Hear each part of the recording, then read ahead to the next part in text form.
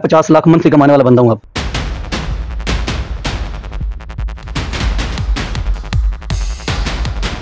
बिसमीम नाजरीन अस्सलाम वालेकुम आप देख रहे हैं वॉच टाइम्स में हूँ आपका मेज़बान ताहिर नसीर।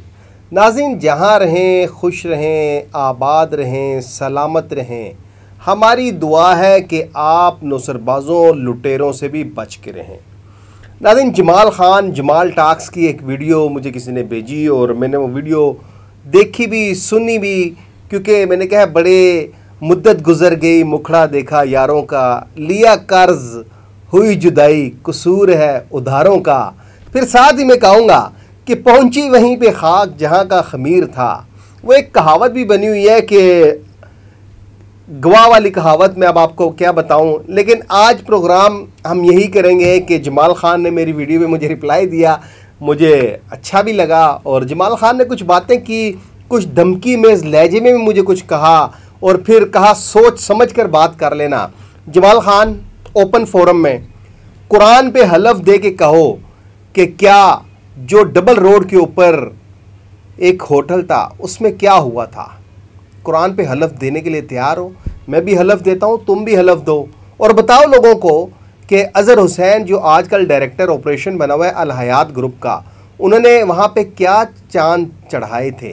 क्योंकि आप तो कहते हैं कि आप ज़ातियात के ऊपर बात कर रहे हैं। फिर मुझे किसी ने आज मैसेज किया कि नेटवर्कर की तारीफ़ आपको किसने बताई? तो मेरे भाई, जो कंपनीज़ मालकान आते हैं, वो डिलीवर करने के लिए आते हैं, लेकिन डुगडुगी जब बजती है तो बंदर की तरह ये नाचते हैं और उस कंपनी का बेड़ा गर्क कर देते हैं। जमाल खान ने वीडियो में कहा, जी, कभी आप जहानजेब आलम के हक में वीडियो बनाते हैं? कभी आप एडम अमिन चौधरी का इंटरव्यू करते हैं? जमाल खान, एक बात आपको बता दें कि जब B for you group of company जो अपने आप को एक बहुत बड़ा तीस मार खान समझता था, उससे भी मैंने इंटरव्यू के लिए उसको कॉल की थी, लेकिन उसने मुझे लीगल नोटिस भेजा। उसके बाद यही एडम अमीन चौधरी था, इसको भी मैंने मौकफ़ के लिए जब फ़ोन किया तो इसने मुझे लीगल नोटिस भेजा। लेकिन अब क्या है कि अब वो लोग खुद अपना मौकफ़ देते हैं कि आप हमारा भी मौकफ़ चलाएँ तो हम उनको चलाते हैं।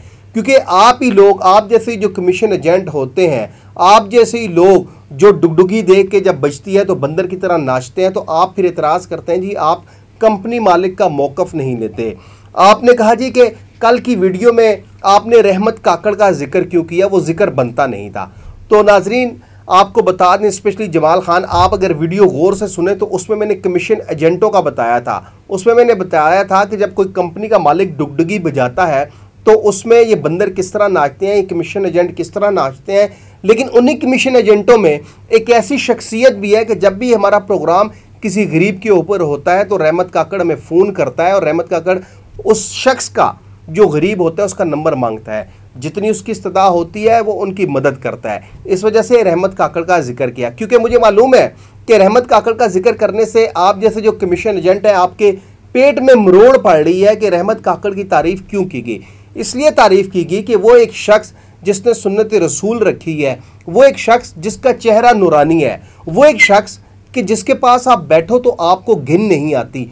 वो एक शख्स के जिसके पास जब आप बैठो तो आप बहुत कुछ सीखती हो तो उस शख्स की तारीफ़ करना जमाल ख़ान बनता है।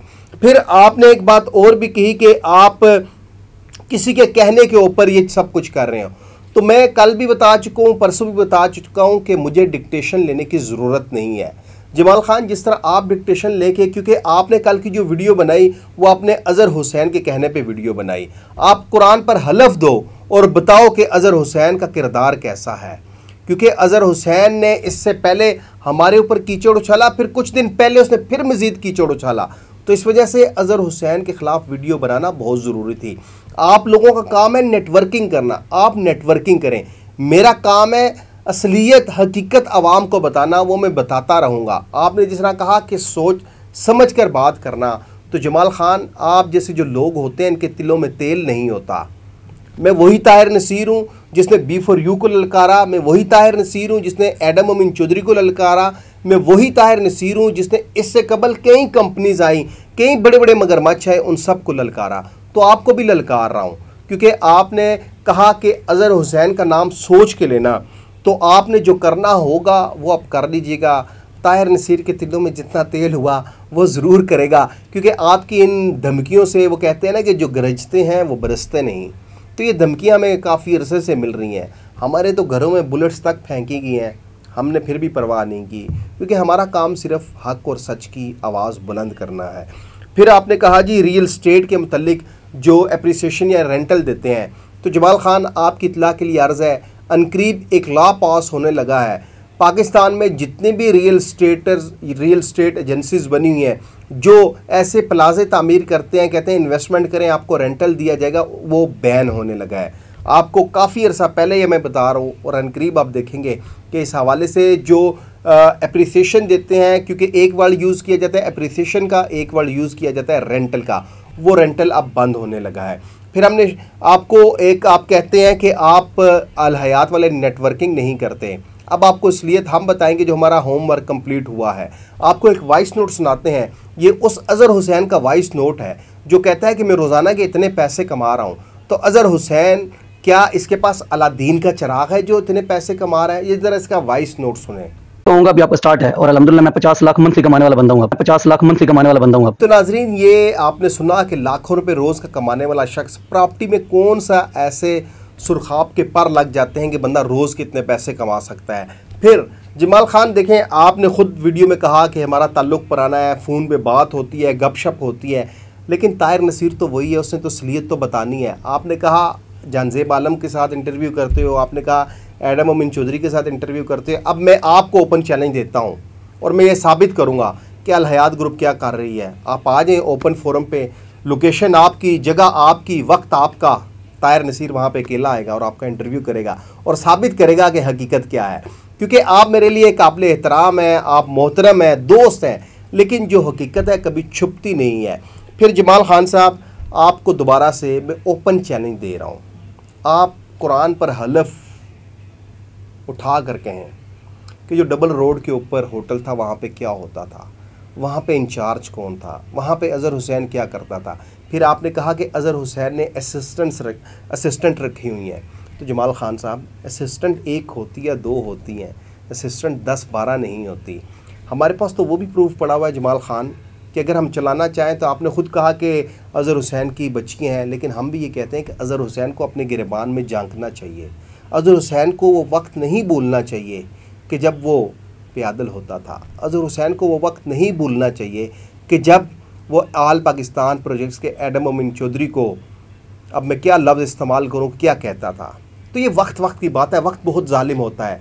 अगर इमरान ख़ान को इकतदार मिला, उस वक्त की उसने कदर नहीं की, अब वही इमरान ख़ान है कि आज देख लें वो अदालतों के धक्के खा रहा है। क्योंकि इससे पहले आप एडम अमीन चौधरी के हक़ में वीडियोस बनाते थे। अब आप अज़हर हुसैन के कहने के ऊपर आप वीडियोस बना रहे हैं। लेकिन आखिर में फिर ये कहूँगा ओपन चैलेंज देता हूँ अलहयात क्या कर रही है? आप भी आ जाएँ, मैं भी आ जाता हूँ। आप अपनी कंपनी के सी को भी ले आए। मेरे सवालत होंगे, आप जवाब दे देना। अगर आप प्रॉपर्टी का बिज़नेस कर रहे हुए, आप नेटवर्किंग ना कर रहे हुए तो मैं आपके हक़ में रोज़ की वीडियो बनाऊँगा। लेकिन, और अगर आप नेटवर्किंग कर रहे हुए तो क्या आप जानजेब आलम के ख़िलाफ़ वीडियो बनाएँगे। देखिए, मेरी किसी कंपनी के साथ लड़ाई नहीं है। मैं ये कहता हूँ कि आप आएँ, आप काम करें, लेकिन खुदारा लोगों का खून मत चूसें, लोगों को डिलीवर करें। अगर आप किसी से दस लाख रुपए की इन्वेस्टमेंट उठाते हैं तो आप कम से कम छः माह में, एक साल में उसको वो रकम वापस तो करें। आप ये करते हैं कि आप कहते हैं, ये दस लाख आ गया, ठीक है, तू और इन्वेस्टमेंट ले गया तुझे कमीशन मिलेगा, तुझे बोनस मिलेगा। तो इसको नेटवर्किंग नहीं तो क्या कहते हैं? फिर एंड में वही चैलेंज आप बता दें। आप कुरान पर हलफ दे के बता दें कि अजहर हुसैन क्या कर रहे हैं। छोटी वाली और बड़ी वाली क्या स्टोरी है? आप कहते हैं तो मैं तस्वीरें भी चला देने के तैयार हूँ।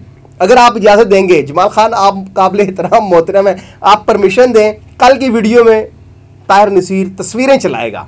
फिर हकीकत सबके सामने खुल जाएगी। अगले प्रोग्राम तक के लिए अपने मेज़बान ताहिर नसीर को इजाज़त दीजिए। अल्लाह हाफिज़।